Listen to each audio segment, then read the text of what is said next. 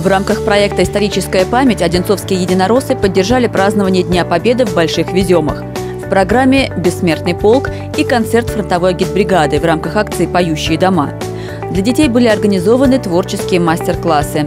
Жители с удовольствием рассматривали макеты стрелкового оружия 40-х годов прошлого века и фотографировались с ретро-мотоциклом, ровесником Великой Победы. Также на площадке в городке 17 каждый желающий мог рассказать о своем воевавшем в Великую Отечественную войну родственнике в формате открытого микрофона. Кульминацией мероприятия стал концерт фронтовой агитбригады, организованный молодежным театром «Крылья». Артисты подготовили для зрителей насыщенную программу с песнями военных лет.